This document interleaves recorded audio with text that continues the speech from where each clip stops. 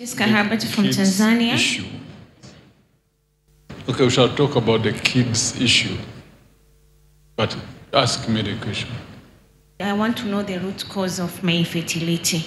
You have never produced? No, I don't have a kid. The kid is seated in, uh, in a cotton, in a, a pool, but there is cotton around, this medical cotton. It's true, man of God, what you're saying is true. Yes, I bought it in the hospital.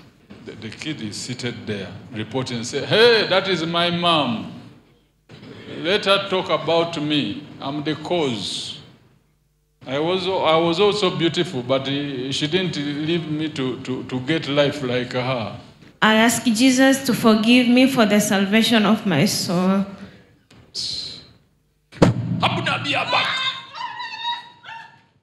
Razab, you are free.